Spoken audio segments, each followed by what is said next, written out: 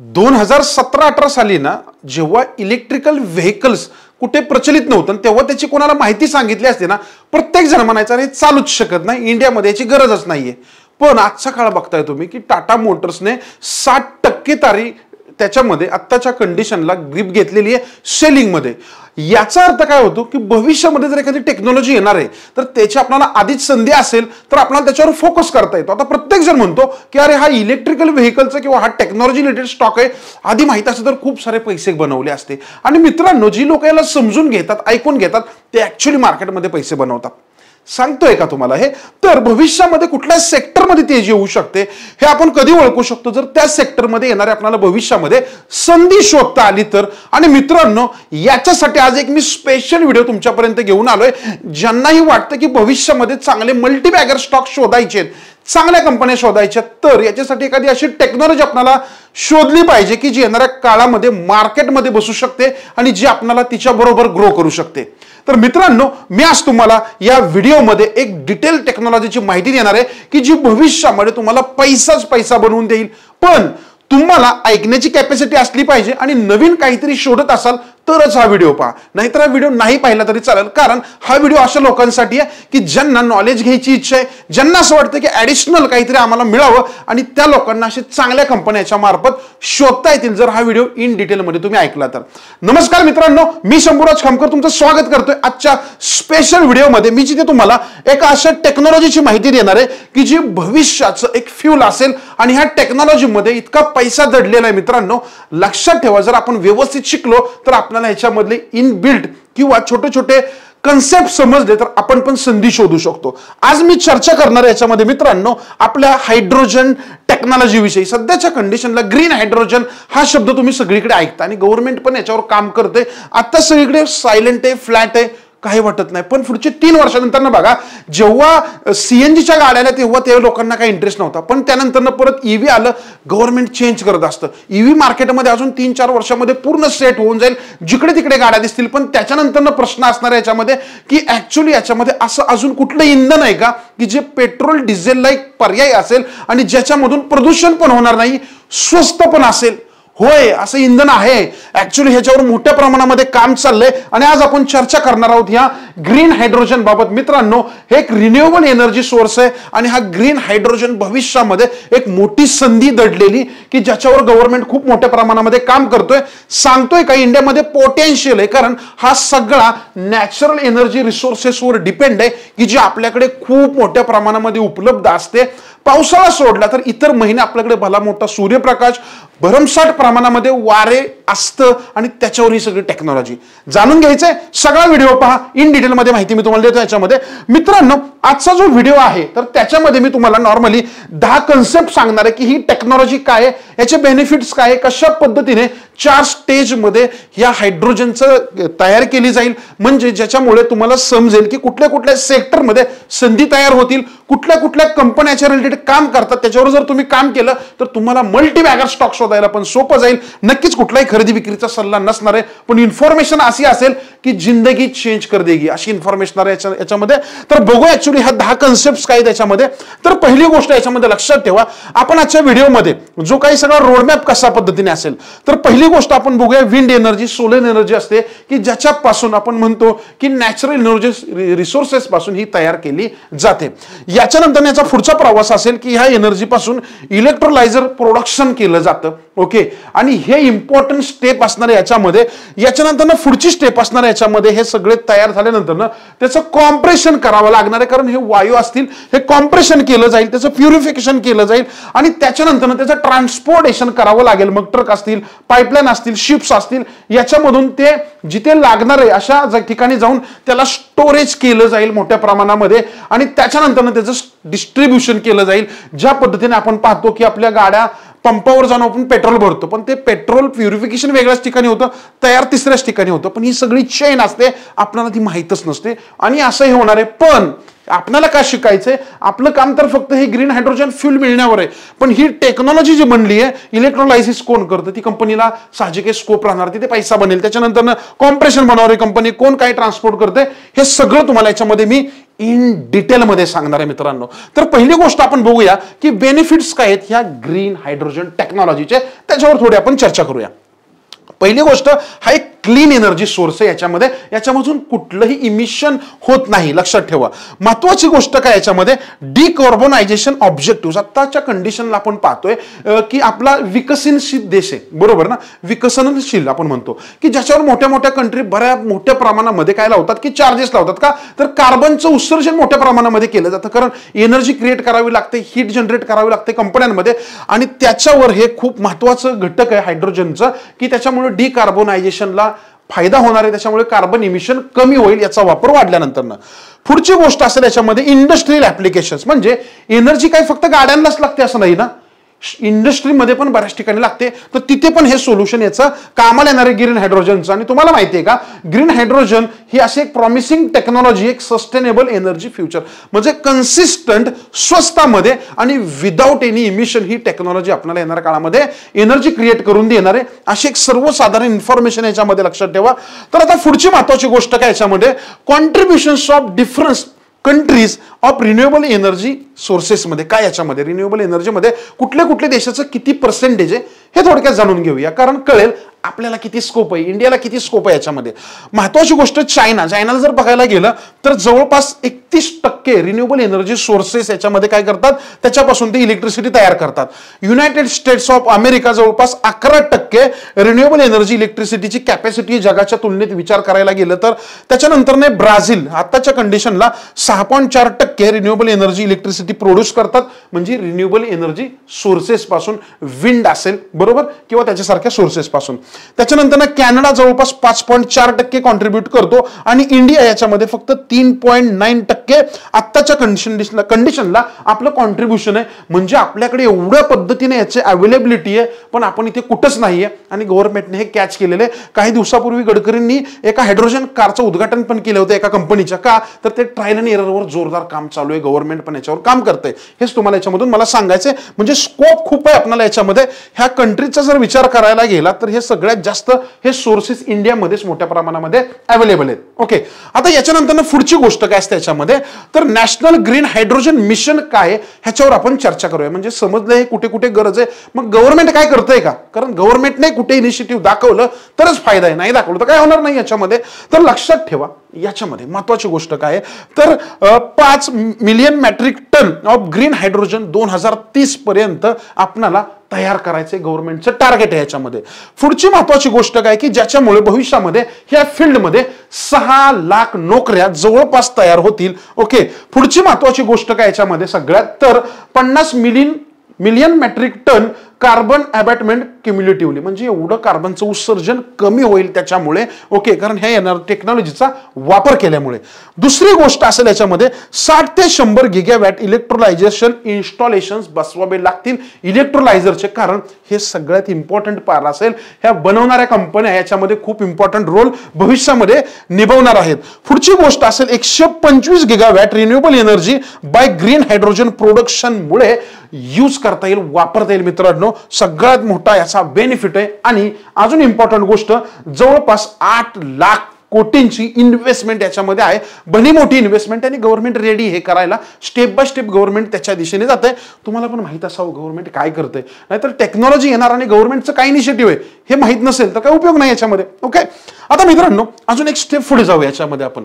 पुढचा आपण पॉईंट याच्यामध्ये बघूया. स्टेज नंबर वन आहे. कारण या व्हिडिओमध्ये मी तुम्हाला चार स्टेपमध्ये ह्या हायड्रोजन प्रोडक्शनची डिटेल देणार म्हणजे प्रत्येक स्टेजमध्ये कुठल्या कंपनी येतात कुठली प्रोसेस येते आणि त्याच्या रिलेटेड काय काय असणार आहे ह्याच्यावर आपल्याला फोकस करायचं आहे तर लक्षात ठेवा renewable energy for green hydrogen कशा पद्धतीने वापरणार आहे? तर पहिली गोष्ट याच्यामध्ये काय असते? तर electricity used in this process comes from renewable energy sources like solar wind hydro power making the hydrogen production carbon neutral लक्षात ठेवा म्हणजे हे जी काही ग्रीन एनर्जी आपल्याला बनवायची आहे किंवा आपण म्हणतो की याच्यामध्ये हायड्रोजन एनर्जी बनवायची आहे तर त्याच्यामध्ये वापरली जाते इलेक्ट्रिसिटी की जी विंड एनर्जी पासून तयार केली जाते मोस्टली किंवा सोलर एनर्जी पासून ओके हा सगळ्यात मेन बेनिफिट आहे कारण हे दोन्ही पण सोर्स नॅचरल रिसोर्सेस आहेत. दुसरी पुढची महत्वाची गोष्ट याच्यामध्ये एनर्जी सोर्स काय असेल याच्यामध्ये तर utilises electricity from sustainable sources like solar and power जसं आता आपण चर्चा केली.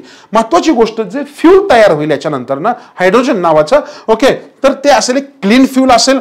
Produces green hydrogen a clean fuel that emits only water when burn म्हणजे हे जे ग्रीन हायड्रोजन आपण गाड्यांमध्ये आपल्या वापरणार आहे ते बर्न झाल्यानंतर आत्ताच्या गाड्या कशा काळा धूर सोडतात ओके फ्लेम्स येतात त्याच्यामध्ये पर्यावरणाचं नुकसान होतं इथे काहीच होणार नाहीये. कारण याच्यानंतर फक्त बाहेर काय पडेल? वॉटर मॉलिक्युल्स बाहेर पडतील म्हणजे पर्यावरणाची काही हानी नसणार आहे त्यामुळे याच्यामध्ये गव्हर्नमेंट फोकसमध्ये करते आणि ग्लोबली पण ह्या टेक्नॉलॉजीवर फोकस चालू आहे. याच्यानंतर ना क्लायमेट गोल्स आहेत. Essential for the transition of renewable energy and achieving the zero emission म्हणजे जे कार्बनचं झिरो इमिशन आहे त्याच्यावर याचा बेनिफिट असणार आहे. आणि इंडियाचं अँबिशन याच्यामध्ये कारण ग्लोबल हब आपल्याला बनायचं आहे कारण आपल्याकडे हे दोन्ही पण सोर्सेस खूप मोठ्या प्रमाणामध्ये उपलब्ध आहेत. आणि तुम्ही बघताय की गव्हर्नमेंट त्याच्यावर पण काम करत आहे आणि बनवत आहे समजलं? काय कंडिशन आहे याच्यामध्ये? आता पुढची स्टेज आहे काय ती समजून घ्या थोडी. रिन्युएबल एनर्जी मॅन्युफॅक्चरर्स कोण आहेत ते? लक्षात ठेवा. ह्याच्यावर थोडी चर्चा करूया. एक गोष्ट लक्षात ठेवा. व्हिडिओ डिटेलमध्ये थोडा मोठा होऊ शकतो. शिकायचं असेल तुम्हाला डिटेलमध्ये तर पॉईंट आउट करून ठेवायला विसरू नका. कारण हे पॉईंट आपल्याला येणाऱ्या काळामध्ये गरजेचे आहेत आणि तुमच्या नॉलेजमध्ये एक लाख टक्के भर याच्यामध्ये पडणार आहे. ओके पुढची गोष्ट असेल की हे मॅन्युफॅक्चरिंग कोण कोण करणार याच्यामध्ये? तर एनटीपीसी आणि अदानी रिन्युएबल्स ह्या ज्या दोन कंपन्या आहेत हे मेजर प्लेयर्स असतील याच्यामध्ये. सोलर एनर्जी प्रोडक्शनमध्ये त्याच्यानंतर विंड एनर्जीमध्ये ह्या दोन कंपन्या आत्ताच्या कंडिशनला आहेत की मोठ्या प्रमाणामध्ये एनर्जी हे करणार आहेत. प्रोडक्शन करतील याच्यामध्ये.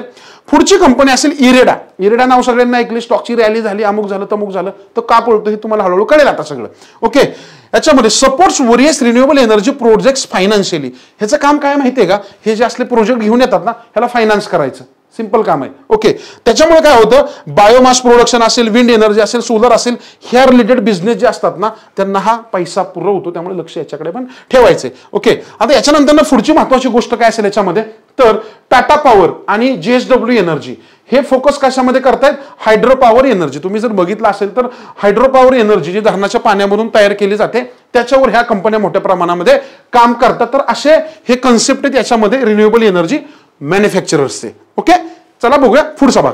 याच्यानंतर आपण आणखी महत्वाची स्टेप याच्या पुढची पाहूया की कशा पद्धतीने हे रिन्युएबल एनर्जीचं मॅन्युफॅक्चरिंग केलं जातं किंवा त्याचे मॅन्युफॅक्चरर्स कोण आहे त्याच्यामध्ये तर पहिली महत्वाची गोष्ट काय याच्यामध्ये? आमरा राजा बॅटरी आणि एक्साईड इंडस्ट्री ह्या दोन कंपन्या तुम्हाला नॉर्मली मोस्टली बॅटरी मॅन्युफॅक्चरर्स एवढ्याच माहीत असतील. पण ह्या दोन्ही कंपन्या नॉर्मली सोलर एनर्जीमध्ये आणि विंड एनर्जी स्टोरेज सोल्युशन्समध्ये काम करताना दिसतात. म्हणजे जे बॅटरी सोल्युशन्स वगैरे त्याच्यामध्ये पण काम करते आणि सोलर एनर्जीचे जे पॅनल्स वगैरे आहेत त्याच्या पण पण ह्या कंपन्या एनर्जी प्रोडक्शनमध्ये काम करतात. पुढची महत्वाची गोष्ट आहे ओलेक्ट्रा ओलेक्ट्राचं शेअरचं नाव सगळ्यांना माहीत होतं. बरेच जणांनी याच्यावर काही दिवसापूर्वी फोकस केला होता. तर ही कंपनी पण मोस्टली काय करते? Wind energy storage solutions and टेक्नॉलॉजीवर काम करते मोठ्या प्रमाणामध्ये. ओके आता याच्यानंतर ना मित्रांनो आणखीन एक स्टेप पुढे जाऊया आपण. पुढची कंडिशन बघूया प्राज इंडस्ट्री प्राज इंडस्ट्री सगळ्यांना माहिती आहे. तर याच्यामध्ये जर पाहायला गेलं तर ही कंपनी प्रोडक्शन काय करते? बायोगॅस आणि बायो एनर्जीचं प्रोडक्शन याच्यामध्ये मोठ्या प्रमाणामध्ये केलं जातं की जे याच्या नंतर न पुढची स्टेज असते एनर्जी प्रोडक्शनला जिथे यांचा फायदा होणार आहे किंवा त्यामुळे ह्या कंपन्या चर्चेमध्ये राहतील किंवा त्यांचं महत्त्व ह्या ग्रीन हायड्रोजनमध्ये खूप मोठ्या प्रमाणामध्ये राहणार आहे. क्लिअर आता याच्यानंतर आणखीन एक स्टेप पुढे जाऊया आपण. ओके हे असेल stage number two stage number वनमध्ये बघितलं आपण की कुठून कुठून त्याचं प्रोडक्शन होणार आहे कुठून एनर्जी घेतली जाईल. स्टेज टू जी असेल याच्यामध्ये तर इलेक्ट्रोलायझर प्रोडक्शन याच्यामध्ये आपण फोकस करूया की जी महत्त्वपूर्ण टप्पा आहे कॉस्टली टप्पा आहे आणि येणाऱ्या काळामध्ये याच्यामध्ये खूप मोठ्या प्रमाणामध्ये संधी उपलब्ध असतील विविध कंपन्यांना पण. आता महत्वाची गोष्ट याच्यामध्ये काय असते? इलेक्ट्रोलिसिस थोडी केमिकल प्रोसेस असणार याच्यामध्ये किंवा एक प्रोसेस आहे नॉर्मली असं समजून घ्या याच्यामध्ये. तर ती प्रोसेस काय असेल याच्यामध्ये? सोलर आणि विंड एनर्जीचा वापर केला जाईल की ज्याचा वापर करून वॉटर मॉलिक्यूल स्प्लिट केले जातील. ओके? आणि त्या मॉलिक्युल्स नंतर ना मग ग्रीन हायड्रोजन तयार केलं जाईल. साधी सिंपल टेक्नॉलॉजी पण वाचायला सोपी आहे. ऍक्च्युअल प्रोसेसला लेंदी असते किंवा कॉस्टली याच्यामध्ये.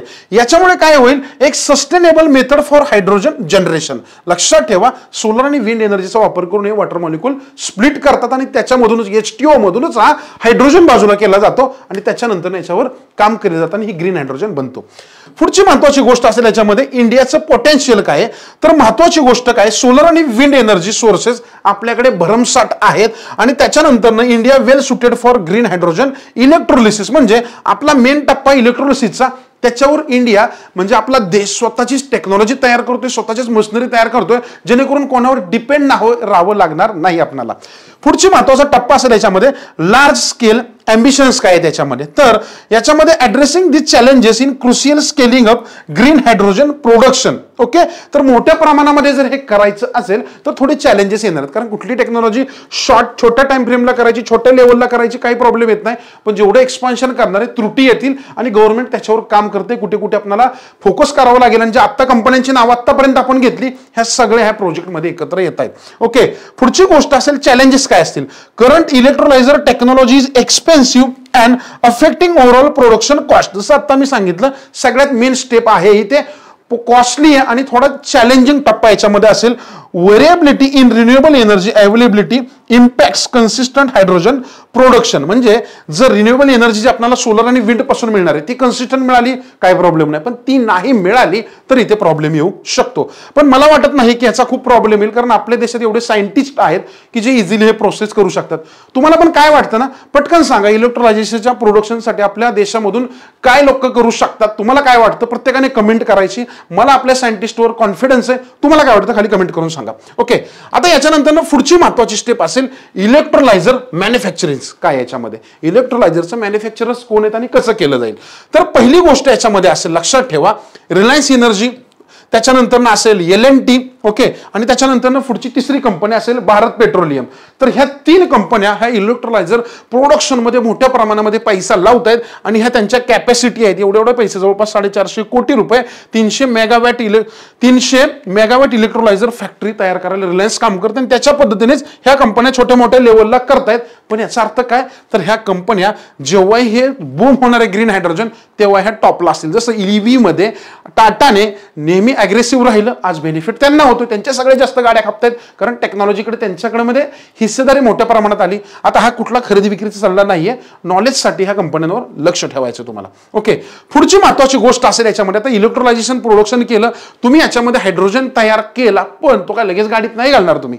तर त्याची महत्वाची पुढची महत्वाची गोष्ट असेल प्युरिफिकेशन अँड कॉम्प्रेशन ओके तर तो तुमच्यापर्यंत येऊ शकतो. कारण तो आधी एक वायू असणार आहे. आणि तो कॉम्प्रेशनमध्ये कसा असेल तर त्याचं प्युरिफिकेशन करावे लागेल. त्याच्यामध्ये इम्प्युरिटीज असतात. त्या बाजूला काढावे लागतात प्रोसेसने पण ते ninety nine point ninety nine percent जेव्हा तो प्युअर होईल त्याच्यानंतर त्याच्यामध्ये काय केलं जातं? कॉम्प्रेशन केलं जातं याच्यामध्ये. कॉम्प्रेशन म्हणजे काय? तो ऍक्च्युली वायू फॉर्ममध्ये असतो. म्हणजे वातावरणामध्ये असणार. तो तयार केलेला असेल एअर फॉर्ममध्ये त्याच्यावर कॉम्प्रेस केलं जातं. जसं आपला घरातला गॅस असतो कॉम्प्रेस करतात. त्याच्यामध्ये तो लिक्विड फॉर्ममध्ये आपल्या सिलेंडरमध्ये भरतात. सेम प्रोसेस याच्यामध्ये असेल आणि याचं कॉम्प्रेशन असेल सिस्टीमद्वारे केलं जाईल. ही एक स्टेज नंबर थ्री असेल. ही पण थोडी चॅलेंजिंग असेल पण इलेक्ट्रोलायझरच्या स्टेजपेक्षा थोडी लेस चॅलेंजिंग आहे. ओके सगळ्यात इम्पॉर्टंट टप्पा याच्यामध्ये आहे. This steps ensure that green hydrogen is a clean and efficient for use in the various applications फक्त गाड्याच नाही इंडस्ट्रियल लेवलला पण याच्यामध्ये भन्नाट वापर करता येणार आहे ओके आता मित्रांनो पुढची प्रोसेस अजून डीपमध्ये सांगतोय मी तुम्हाला. Okay compression and purification manufacturers कोण कोण आहेत? कोण कोण आहे की हे सगळं करू शकतं? लक्ष ठेवा नोट डाऊन करत चला प्रत्येक गोष्टला. लक्षात ठेवा याच्यामध्ये. हॉनीवेल पी ही जी कंपनी याच्यामध्ये ह्या कंपनीने polybed P S A technology for hydrogen प्युरिफिकेशनसाठी develop केलेली आहे आणि ही मोठ्या प्रमाणामध्ये सध्या चालू आहे. त्याच्यानंतर UPL Welspun JSW energy okay आणि त्याच्यानंतर आपला भारत पेट्रोलियम पण आहे तुम्हाला माहिती बीपीसीएल ही कंपनी पण आहे. These four companies are exploring green hydrogen technologies and its purification process म्हणजे प्युरिफिकेशनची स्टेप असेल ना तिथं ह्यांचं महत्त्व वाढणार आहे लक्षात ठेवा. ओके तिथे यांच्याकडे टेक्नॉलॉजी असेल की ज्या त्या कंपन्यांना देणं. कारण सगळी टेक्नॉलॉजी एका कंपनीकडे नसणार आहे. प्रत्येकजण वेगवेगळ्या स्टेजला काम करते आणि नंतर ते एकमेकाकडे हस्तांतरित करतील किंवा एकमेकाचं ईव्ही किंवा जॉईंट व्हेंचर म्हणतो आपण ते करून आपल्यासाठी घेऊन येतील स्वस्तामध्ये. ओके आता याच्यानंतर सगळ्यात महत्वाची स्टेज नंबर फोरला येतोय आपण. कारण हे सगळं तयार केलं आपल्या गाडीपर्यंत पोहोचायचं आहे अजून बरोबर ना? हे तर आता तिथे कंपनीमध्ये तयार झालेलं आहे. तर पुढची महत्वाची स्टेज असेल याच्यामध्ये ट्रान्सपोर्टेशन आणि स्टोरेज ती पण एक नॉर्मल चॅलेंजिंग स्टेज असेल ॲज कंपेअर करता फर्स्ट स्टेज ओके तर याच्यामध्ये काय असेल? This involved various processes like okay पहिली गोष्ट असेल अमोनिया कन्व्हर्जन म्हणजे तो जो लिक्विड हायड्रोजन असेल ना तर त्याला ते नॉर्मली काय करतील? अमोनिया रूपामध्ये कन्व्हर्टिंग करतील याच्यामध्ये. पुढची गोष्ट असेल repurposing existing pipe. Okay repurposing existing pipes कारण आता हा जर ट्रान्सपोर्ट करायचा आहे तर पहिली गोष्ट असेल टँक्समधून पण ते प्रत्येक वेळी एवढा घेऊन नाहीच जाऊ शकत. पण सध्याच्या कंडिशनला जो नॅचरल गॅस वाहण्यासाठी पाईपलाईन पाईपलाईन्स आहेत त्याचा पण ते वापर करू शकतात हा ग्रीन हायड्रोजन ट्रान्सपोर्ट करण्यासाठी. त्याच्यानंतर पुढची महत्वाची गोष्ट असेल याच्यामध्ये पाईपलाईन नेटवर्क याच्यामध्ये तयार करावं लागणार आहे मोठ्या प्रमाणामध्ये ओके याच्यानंतर पुढची महत्वाची स्टेप असेल कॉस्ट इफेक्टिव्हनेस कारण हे सगळं केलं स्वस्त असलं तर आपण वापरणार आहे ना? कारण आपल्याला शेवटी सगळ्या गोष्टी स्वस्तामध्येच पाहिजे असतात ओके त्यामुळे कॉस्ट इफेक्टिव्हनेसवर याचं काम करावं लागणार आहे मोठ्या प्रमाणामध्ये. अँड लार्ज डायमीटर पाईपलाईन्स ची जी नॉर्मल ह्याच्यामध्ये काय लागणार आहे? गरज पडणार आहे याच्यामध्ये की जे ह्या महत्त्वाच्या गोष्टी ह्या ट्रान्सपोर्टेशन आणि स्टोरेजमध्ये इन्व्हॉल्व्ह होणार आहेत. समजलं?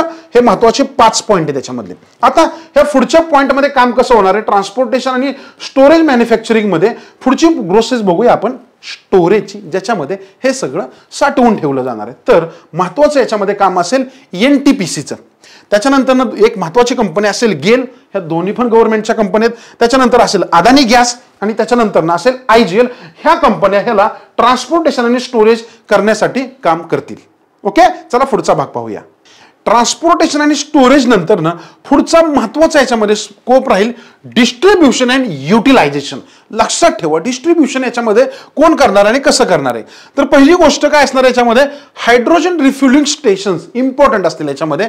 ज्याच्यामध्ये काय होईल? Provide hydrogen gas for vehicles with hydrogen fuel cells याच्यामध्ये प्रोव्हाइड केल्या जातील. दुसरी गोष्ट असेल similar to traditional gas stations but for hydrogen म्हणजे आता आपण बघतो सीएनजी भरायला जातो. गाडीमध्ये सीएनजी फिल केला जातो. तर त्या पद्धतीने पण असेल ज्याच्यामध्ये डायरेक्ट तुमच्या गाडीच्या टँकमध्ये भरला जाईल किंवा तुम्हाला काही सेल्स घ्यावे लागतील जे गाडीमध्ये तुम्ही बसू शकता. असं दोन पद्धतीने याचा वापर करता येणार आहे. Support the infrastructure for hydrogen powered ट्रान्समिशनसाठी पण हा याच्यामध्ये काम करणार आहे. कुठलं? हायड्रोजन रिफिलिंग स्टेशन याच्यानंतर पुढची महत्वाची प्रोसेस असेल इन्व्हायरमेंटल इम्पॅक्ट काय असेल? तर फायदा जास्त इन्व्हायरमेंटल कारण भविष्यामध्ये ही गोष्ट जास्त गंभीर होत जाणार आहे. आणि याच्यावर मोठे मोठे सँक्शन्स भविष्यात बाहेरचे देश लावतील कारण त्यांना माहिती की कार्बन इमिशन कुठून जास्त होतं. तर लक्षात ठेवायचं आपल्याला बेनिफिट का राहील? तर only water vapour is released by product okay म्हणजे तो जो बाय प्रोडक्ट आपण म्हणतो की जो इमिशन नंतर ना गाडीची हीट जनरेशन केल्यानंतर ना बाहेर पडेल तो असेल फक्त त्याच्यामध्ये वॉटर मॉलिक्युल आणि offer and eco friendly transportation choice म्हणजे जर हा एक पाईपलाईनमधून जर ट्रान्सपोर्ट केला तर तिथे पण काय खूप मोठा खर्च लागणार नाही. जेणेकरून ते जे काही ट्रक्स वगैरे असतील ह्याच्यामधून होणार इमिशन पण इनडायरेक्टली कमी होणार याच्यामध्ये. ओके याच्यानंतर पुढची महत्वाची स्टेप असेल याच्यामध्ये की hydrogen stations in India as of April दोन हजार चोवीसपर्यंत लोकेटेड इन वरियस स्टेट्स म्हणजे भारतामध्ये कुठले राज्य आहेत की त्याच्यामध्ये हे सगळे आहेत? तर जवळपास इथे पाहिलं गेलं तर पंधरा ते वीस राज्यामध्ये आतापर्यंत इन्स्टॉलेशन झालं की ज्याच्यामध्ये आपला महाराष्ट्र पण आहे की ज्याच्यामध्ये हायड्रोजन स्टेशन्स हे काम चालू आहे किंवा उपलब्ध आहेत. ओके? आणि जे येणाऱ्या काळामध्ये मोठ्या प्रमाणामध्ये वाढतील. Okay? Commitment to clean energy लक्षात ठेवा महत्वाची गोष्ट काय याच्यामध्ये? Part of India strategy for reduce emission and aims to explore a clean energy alternative लक्षात ठेवा क्लीन एनर्जीचा एक छान अल्टरनेटिव्ह हा ग्रीन हायड्रोजन आहे की त्याच्यावर गव्हर्नमेंट असं सगळ्या पद्धतीने काम करते आणि या सगळ्या व्हेरियस स्टेपमध्ये मी तुम्हाला सांगितलंय. पुढची स्टेप शिकायची? पाहूया. याच्यामध्ये आपण पाहूया हायड्रोजन रिफिलिंग स्टेशन्स आणि त्याचं मॅन्युफॅक्चरर्स कोण कोण असणार आहेत? आधी आपण पाहिलं कुठे कुठे स्टोरेज केलं जाईल काय काय प्रोसेस असेल कुठे असेल? आता याच्यामध्ये जर आपण पाहिला गेलो तर भारत पेट्रोलियम त्याच्यानंतर एन टी पी सी त्याच्यानंतर पुढे असेल कोण? तर जिंदाल स्टेनलेस स्टील ओके याच्यानंतर पुढची आणखी महत्वाची कंपनी आहे रिलायन्स एनर्जी त्याच्यानंतर नसेल अदानी किंवा इंडियन ऑइल हे जे सगळ्या कंपन्या आहेत हे रिफ्युलिंग स्टेशन्स आणि मॅन्युफॅक्चरर्समध्ये काम करणार आहेत किंवा ह्यांचं मेन उपलब्धी असणार आहे. त्यामुळे आपल्याकडे ह्या कंपन्यांची नावं माहीत असणं गरजेचं त्याच्यावर तुम्हाला अभ्यास करायचा ह्या कंपन्यांचा की येणाऱ्या काळामध्ये कुठल्या टेक्नॉलॉजी जे आता येते त्याच्यामधल्या कुठल्या पार्टवर कोण मोठ्या प्रमाणामध्ये येते जी मी तुम्हाला डिटेलमध्ये सांगितलेलं आहे. आता सगळ्यात महत्वाची पुढची गोष्ट याच्यामध्ये आपण शिकूया. की हायड्रोजन पॉवर्ड व्हेकल्स जे असतील ना तर त्याच्यामध्ये दोन प्रकारच्या गोष्टी असतील. म्हणजे ज्या गाड्या बनणार तर त्या दोन प्रकारच्या व्हेकल्स याच्यामध्ये असतील. एक इंजिन असेल fuel cell electrical vehicles okay? म्हणजे जी हायड्रोजन असणार आहे ग्रीन हायड्रोजन त्याच्या ऑलरेडी सेल तयार होणार त्या गाड्यांमध्ये बसवणार त्याच्यावर गाडी चालणार. किंवा दुसरी गाडी जी असणार याच्यामध्ये हायड्रोजनवरच चालणार पण hydrogen internal combustion engine vehicles असणार आहे त्याच्यामध्ये ओके? म्हणजे या सिस्टीमचीच या टेक्नॉलॉजीज दोन प्रकारे गाड्यांमध्ये वापरली जाणार आहे. थोडा कॉस्टिंगमध्ये फरक पडेल. कारण हे दोन्ही प्रकारचे इंजिन वेगवेगळ्या पद्धतीने डिझाईन केले जातील जे भविष्यामध्ये आपण इन डिटेलमध्ये अजून बोलणार आहे. जशी जशी टेक्नॉलॉजी आपल्याला नॉलेजमध्ये येत जाईल त्या पद्धतीने. ओके आता सगळ्यात महत्त्वाचा मुद्दा असेल याच्यामध्ये हायड्रोजन पॉवर्ड व्हेकल्स मॅन्युफॅक्चरर्स कोण कोण असणार आहे? तर याच्यामध्ये कोणाकोणाचा सहभाग आहे? समजून घ्या. N T P C oil India limited त्याच्यानंतर इंडियन ऑइल ओके ह्या सगळ्या कंपन्या मोस्टली टाटा मोटर कारण मॅन्युफॅक्चरर कोण आहे गाड्यांच्या इंजिनचा टाटा मोटर्स तो इंजिन बनवणार आहे. पण इंजिन बनवताना काय लागणार आहे? कशा पद्धतीने डिझाईन करावं? कशा पद्धतीने इमिशन कमी होऊ शकतं? कशा पद्धतीने गाड्यांचा ॲव्हरेज वाढेल? म्हणजे जी काही माहिती लागणार आहे ते कोण प्रोव्हाइड करणार आहे? ह्या कंपन्या म्हणजे फ्युलपासून त्यामुळे ह्या सगळ्या कंपन्या एकमेकाच्या कोलॅबरेशनमध्ये असतील. त्याच्यानंतर रिलायन्स इंडस्ट्री नाव ऐकले सगळ्यांना. ही पण मोठ्या प्रमाणामध्ये काम करते आणि ती सध्या Olectra Bharat Benz and Ashok Leyland ह्या तीन कंपन्यांवर मोठ्या प्रमाणामध्ये काम करते. कशासाठी? तर याच्यामध्ये जे ग्रीन हायड्रोजनचं इंजिन असेल प्रोड्यूस करणे किंवा टेक्नॉलॉजी रिलेटेड जे जी काही कामं असतील त्याच्याबरोबर ह्या कंपन्या सगळ्या एकमेकाशी कोलॅबरेशनमध्ये मोठ्या प्रमाणामध्ये काम करत आहेत आत्ताच्या कंडिशनमध्ये ओके आता hydrogen in steel and power sector हे काय आहे? आत्तापर्यंत आपण पाहिलं गाड्यांमध्ये लागतोय गाड्यांमध्ये लागतोय गाड्यांमध्ये लागतोय. एवढाच आहे का? अजिबात नाहीये. एनर्जी काय फक्त गाड्यांसाठी थोडीच लागते. तर इंडस्ट्रियल सेक्टरला पण लागते. आपण पाहतो की मोठमोठे टाटा स्टील असेल अदानी पॉवर असेल जेएसडब्ल्यू स्टील टोरंट पॉवर असेल जिंदा स्टेनलेस स्टील जिथे स्टील मॅन्युफॅक्चरिंग होतं मेटल कंपन्या की जिथं मेल्टिंगसाठी मोठ्या प्रमाणामध्ये एनर्जीची गरज असते. तिथे पण हा ग्रीन हायड्रोजन येणार आहे. म्हणजे काय? तर त्या कंपन्यांना पण स्वस्तामध्ये येईल. इनडायरेक्टली ह्यांच्या बॅलन्स शीटवर फरक पडणार आहे लक्षात ठेवा. आणि ह्याच्या रिलेटेड ट्रान्सपोर्टेशन मॅन्युफॅक्चरिंग प्युरिफिकेशन बाकीच्या कंपनी येणार आहेत. त्यांना पण बेनिफिट होणार आहे याच्यामध्ये. ओके तर मित्रांनो अशा पद्धतीने हे सगळं केलं जातं. स्टेज नंबर सिक्समध्ये आपण येतोय आत्ताच्या कंडिशनला ज्याच्यामध्ये पाहूया की हे सगळं करतंय हे सगळं चालू आहे. पण याच्यामध्ये रिसर्च कोण करतंय बाबा? की ज्याच्यामध्ये अजून इफिशियंट हे सगळं बनेल? तर रिसर्च अँड डेव्हलपमेंटचा जर विचार करायला गेलं तर गव्हर्नमेंट रिसर्च इन्स्टिट्यूशन्स आहे त्याच्यामध्ये C S I R laboratory I I S C जी आहे जे मोठ्या प्रमाणे याच्यामध्ये रिसर्च करते. त्याच्यानंतर प्रायव्हेट कंपनी कुठल्या कुठल्या आहेत की जे याच्या रिसर्चमध्ये इन्क्लुडेड आहेत.